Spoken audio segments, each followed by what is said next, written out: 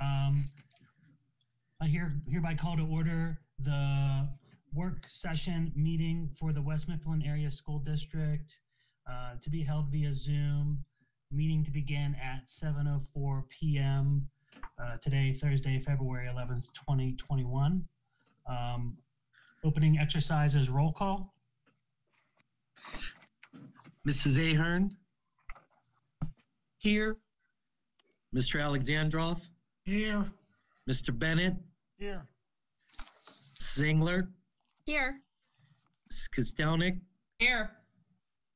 Mr. Marshall, Present. Mr. Mattis, Here. Mr. DeCenzo, Here. Mr. Blazevich. Here. For the uh, numbers two, three, four, and five, that's part of our uh, regular board meeting. So I will go down to number six. Six B is finance. Uh, Number one and number two are part of the real estate tax refund.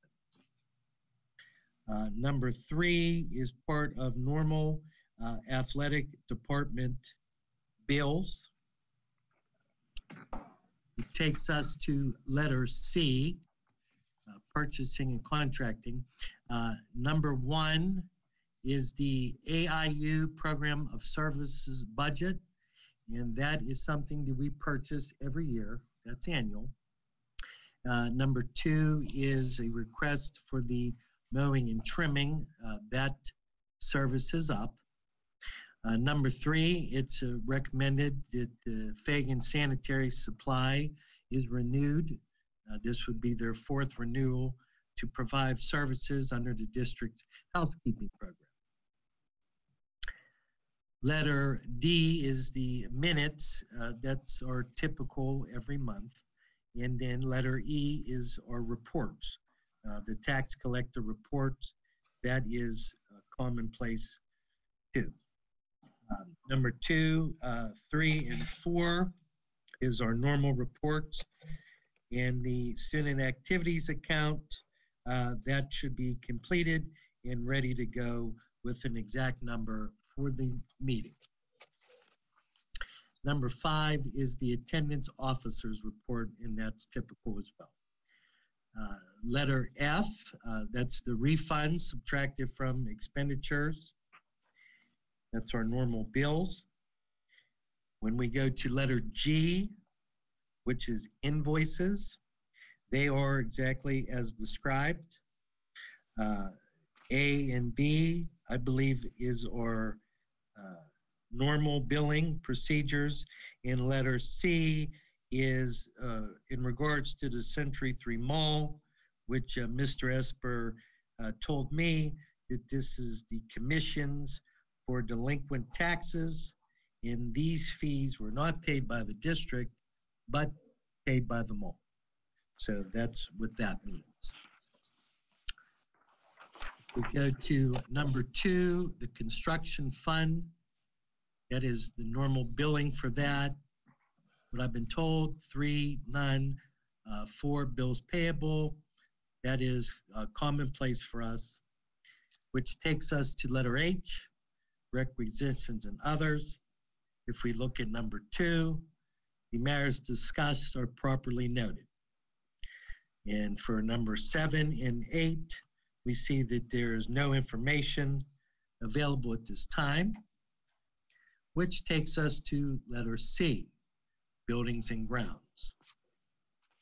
This is, uh, you know, the normal building permits as presented.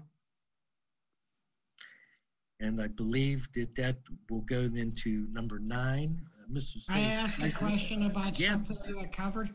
Yes, feel free, Mr. Ellison. Six C two, the specs for the grass cutting. Yes. I know the company we had had the contract, it was renewed several times. Mhm. And I know our maintenance crew had to keep up with the weed whacking and cutting the grass over again and everything else. Is there any way we could change these specs to increase them or to follow up to make sure that the company does everything that they're supposed to? Right. Last year, we did, um, we did try to get other people to bid on the grass cutting services, and this company came in low again. Um, and if you recall, two years ago, we really did have to get after them for cutting the grass. This past year, they did much better. Um, so, you know, the, the contract's up, so we, we put it out there to bid and see who we can get. Um, you know, the specs are gonna be basically the same, the, the level that they cut the grass weekly. Um, there's not too much that we left in there bi-weekly. Um, so, you know, I can, I can take a look at the specs and see I what just- can increase. I just want to make sure that, you know, it, um, as, f- I'm not saying on, you know, nothing on you guys, but with them, if they could follow up, follow, if it means we change the specs for them to get the contract, but just to follow up to make sure that they're doing everything a little bit better. That's all. Sure, we'll take a look at it.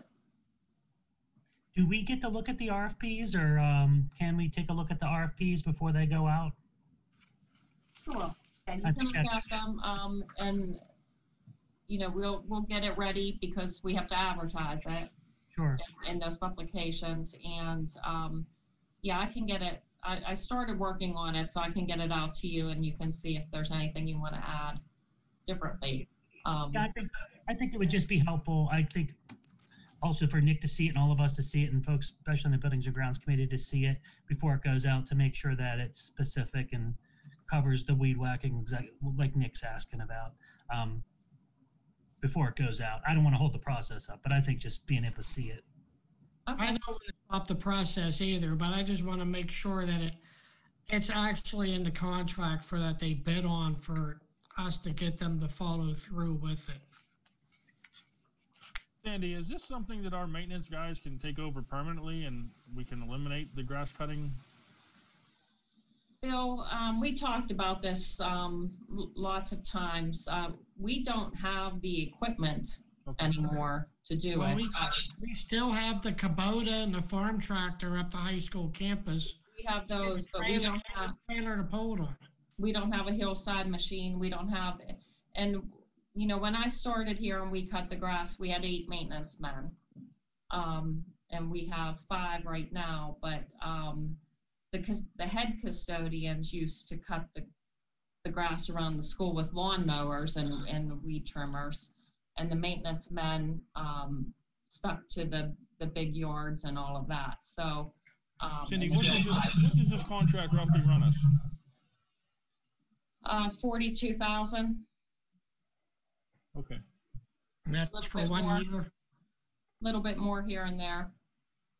That, that, the machine we have up in the bleachers, up the high school, the visitor side, that Kubota is pretty serious because it has a backhoe attachments, and it has all the attachments in there. The attachments actually go on the old Kubota. They don't go on the new Kubota, and, and that was done before I started. The older one in there, the one in the visitor side bleachers, I believe them attachments were for that machine that's in there. The other one's the farm tractor and the other off the road going down to the baseball fields is the newer Kubota. But the other one has the attachments with it in the visitor side bleachers for a backhoe.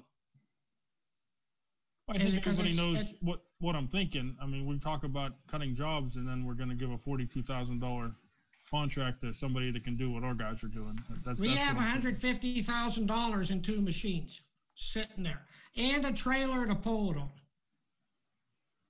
Yeah, but Bill, are we gonna, is it gonna be more than forty-two thousand dollars? I don't know. We'd have to look at it. I'm, I'm thinking out loud and I'm sorry if I'm out of turn, but it, it's just, it's just a thought, you know?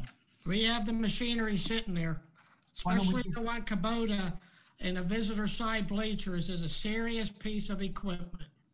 It 'cause it can't hurt has to get the bids. Attachments and everything else. The trailer to haul it on is behind the scoreboard in the grass. It can't hurt to get the bids, look at the bids, and then make a decision at that point. And Yeah, maybe in the would, meantime, we we would need can, a piece of equipment that could cut hillsides because a Kubota cannot cut hillsides. Okay. Need, you would need a zero turn. Correct. Do We can't hear you, Jeff. You're on mute, Mr. Salt, or, uh, Mr. Souls. You should hear me through Mr. Solomon. Barely. Not really. It still has mute on there, Jeff. With you.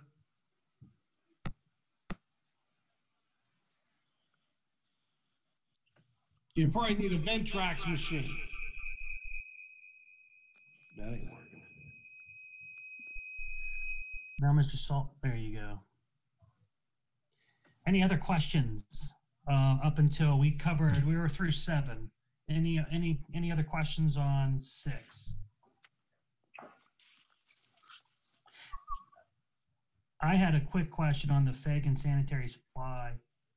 Um, I didn't understand, I didn't see any other supplemental paperwork on that. I didn't know what that was about. What is that? Okay, the, the Fagan sanitary supply, years ago, we, um, we put a bid out for all of our custodial supplies to come through one vendor. Um, and that's the vendor that we chose to use. Um, Okay. so instead of having and bidding supplies from six or seven different vendors, trying to keep up with MSDS sheets and all of that, we use the same chemicals in all of the schools. And they provide us with our paper towels, toilet paper, um, floor waxes, not just the normal cleaning chemicals, but also the floor waxes and, um, and that, that kind of, the, the equipment too, the vacuum sweepers and floor machines. Thank you. You're welcome. And then I'll be the one to ask this. Are these the final ABM bills? Do we know what's left? I feel don't we- believe we they have to are. I already believe there's base. retainage, uh, uh, but maybe, s- I don't know. I don't have them in front of me, so I, I believe there's gonna be Usually retainage. there's a five to ten percent retainage in the contract, just to make sure that everything gets completed through a punch list. And then after a period of time, it's released. So I'm sure there's a small amount of retainage on there. But these should be like the final big bills. Okay. Does anybody else have any questions? Um, let's see here. We got through, oh, actually, we did get through eight. Uh, right, Mr. Solomon? Yes. Yeah, we did. So we're at nine, Yeah, professional no- personnel. yes, number nine, professional personnel. Mr. Solomon, I believe that- Yes, uh, we'll add things as we get ready for next week's meeting and after we go through executive session this evening, uh, on personnel. So is that nine, 10, Nine, 10, 11, 12? uh, 12 substitutes, we have nothing at this time. Conferences, we have nothing at this time. And that takes us to 14, board president's correspondence. I have nothing at this time. Executive session discussion. We'll have executive session after this. Correct? Uh, board, board reports. All right, I did email out an updated agenda for the committee meetings uh, a little bit ago. So we'll start with the um, buildings and grounds. Uh, We'd like to ask uh, the board or the committee to recommend we replace some of the pool locker room benches. It seems that uh, over time, uh, the metal has deteriorated uh, and they're no longer standing. So we'd like to replace those down in the pool locker room. Did we already do that? No, we did not. Do we, do we just have them? I thought I read something about new benches. I think that was brought up since the last meeting or at the end of the last, maybe in like hallway conversations, Judy. Okay, I thought it was emailed to us today. The Yeah, I- invoice, I- I'm sorry, go ahead. no, I was gonna say that I think the invoice was in there for it. Oh, okay. That's probably what you saw, Judy. Yes, which made me think we got it already. We did, and We're looking to the- add. The proposal for them. Okay, that was a proposal. Okay, I got it. And that's just the two swim locker rooms. Okay, Is the committee okay with us adding that to the agenda? Yes. Yes. yes. Oh, I'm not on that committee. All right. Under finance, um, we sent out early, I'm sorry. Under finance, uh, the first thing we have is the Crossroads Service Agreement for speech, PT and OT. Uh, we, uh, through Mrs. Silvas's efforts, we went out, uh, to see where we could cut some cost as far as our speech services, our OT and PT. And we have a local company, uh, Crossroads, who gave us a proposal. We did forward it off to Mrs. Damasio to make sure all the legalese is good. And from there, she gave us the head shake that it was good, the head nod, and, uh, we would like to propose that to the finance committee to add on to the agenda to move in that direction. It's roughly about a three hundred thousand dollar savings.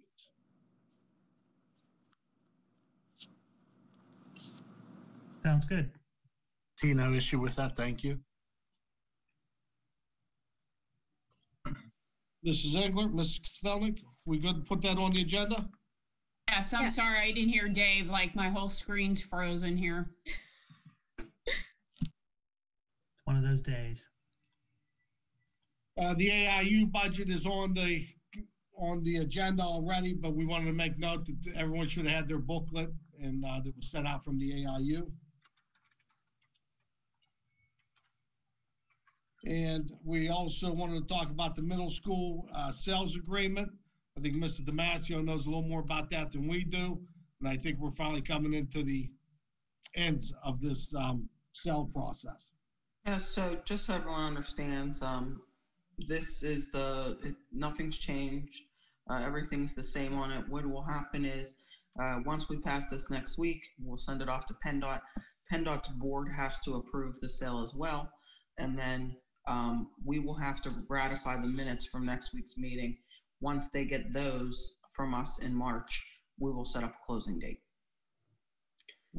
Um, and I know Mr. Esper spoke with them as well earlier. Tricia, Yes. now, is this property being sold as is to the state? In case there's any issues that the borough finds out later on, even though they're getting it from the state, that the district has no um, culpability of fixing any issues. I don't know how the old buildings were ripped down. I know we had problem with somebody coming there and dumping stuff that was supposed to clean it up that didn't. Well, it's my understanding that the dumping recently was cleaned up. Okay. I believe the borough cited someone, if you correct me if I'm wrong, Mr. Souls, and I believe that that person was um, required to remove that items, and if he didn't, he was going to be cited. So that was my understanding. Um, I think that was more towards our side of the property we retained in the carve out anyways with regard to the Public Works building as well. Uh, so, and as far as the demolitions, those were all done in accordance with the law. So I don't foresee an issue there. You had an environmental sign off on those demos, uh, which would have been routine. I don't think it's necessarily as is. We have to give them the general warranty. It's a general warranty deed. It's not a quitclaim as is deed. Um, it's a general warranty deed to the borough. It is a unique transaction because we're being, it's being purchased necessarily, uh, by the, by PennDOT, but it's being given to the borough. So the deed will go directly to the borough. The reason for that, in case anyone didn't understand, was because when they are extending the Mon-Fayette Expressway, they are taking some recreational land from the borough and they need to replace that. And this is a replacement of that recreational land to the borough. So with the committee's approval, we'd like to put that on the agenda to approve the sales agreement. I agree with that. Yes. Yes. I, I have a question. Uh, once that, um, money is in our hands, we will pay the, uh, loan right off to tear, that we used to tear the old middle school down, correct? I would, s- uh, yes, that's correct. Okay.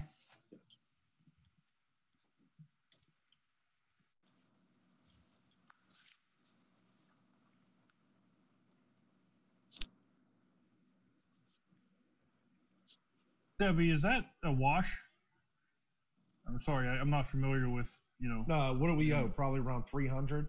About a three hundred thousand dollars. We're getting a little over eight, so it's about a five hundred thousand dollar net gain. Okay, thank you.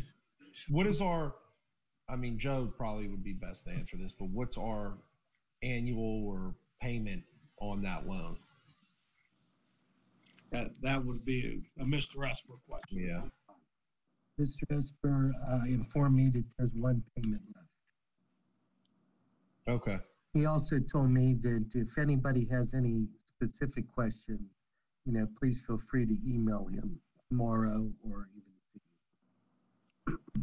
Yeah, I do remember Joe saying that, um, Debbie, it might be less than that three hundred thousand dollars now because we had to make a payment last year.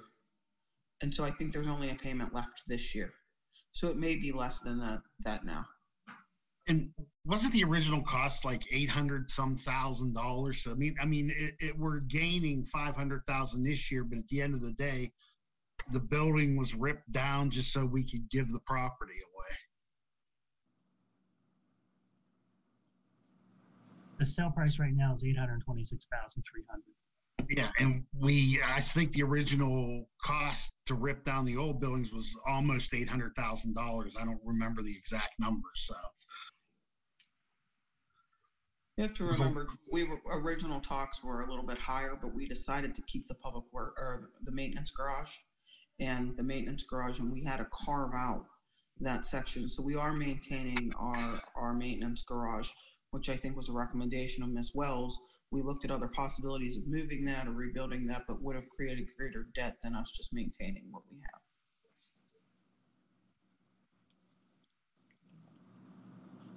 I think we're good, Mr. Souls.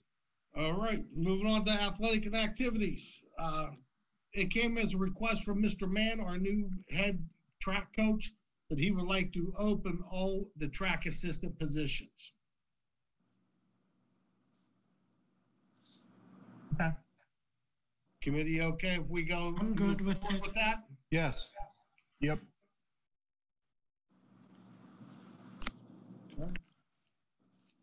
Uh, s- jumping down to education, uh, we sent out the school calendar again. Uh, we asked for feedback. Uh, is there any, any, uh, objections to moving forward with putting the proposed 21-22 school calendar on the agenda? No? Just to make sure, we're, we're eliminating the snow days, right? With the remote days, and we also s- signed up for the, um, Flex FIDs. days. So, so we can, we can eliminate the snow days, yes. Okay. Sounds good to me. Sounds good. Good to me. Thank you. And then we also uh, sent out to the, uh, the board, the Titan Academy Student Handbook that we would like to have the committee recommend to approve this month as well. And that's our um, uh, site for individual help, one-on-one, to help get kids back into the uh, mainstream of the high school. So we thought it important to have a a handbook for them to go by, the parents to go by. So that's what we're asking, if you would uh, approve putting on the agenda. It sounded very good to me. It reminds me of the old responsibility training, which I thought was extremely effective. So I think it's all good. Yes. Yes. Yep. Uh, down to policies, uh, PSBA, they're asking us to appoint a representative to PSBA.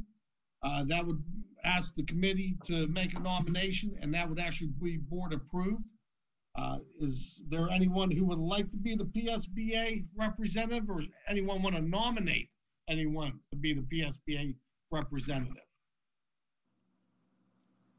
Do we know what's all entailed with that there? Yeah, I gonna That's what what- I was gonna say. Nor- normally what it asks uh, is you go to Harrisburg once a year and you will vote, uh, for the officers. You'll vote for certain, um, uh, um, initiatives they want to take as PSBA. But it's, you would actually be the voting member. I think Mr. Marshall will be well suited for that position.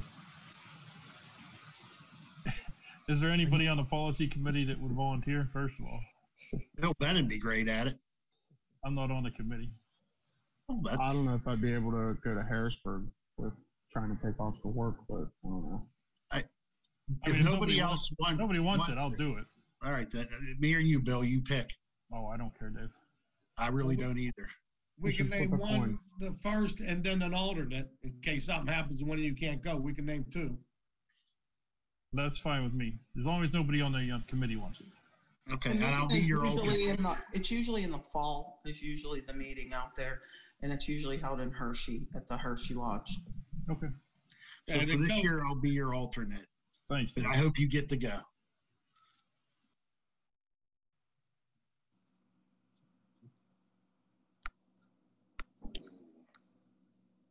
Thank you, Bill. And then we also have, uh, policy, the policies in the zero, zero, zero range that we shared. We like to ask to put up for the first reading. We also have policy zero, one, one, point one that we like to ask to go to first reading. And we also restructured policy nine nineteen, I believe it is. I may be wrong, nine eighteen. It's 19. I think it's, it's 19. It's nineteen, nine nineteen to Yes. go for first reading. Yep, yeah, I'm good with that. I am too. Yes. Yes.